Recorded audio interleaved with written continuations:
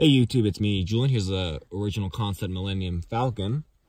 So basically, it's the Millennium Falcon that was never meant to be.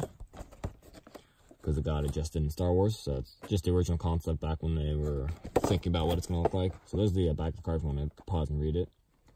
If you want to. But anyways, it does come with a stand, so I could show that quickly.